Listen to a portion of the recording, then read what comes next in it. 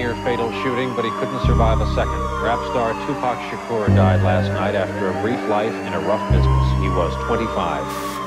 Wallace, also known as Biggie Smalls, was shot from a passing vehicle.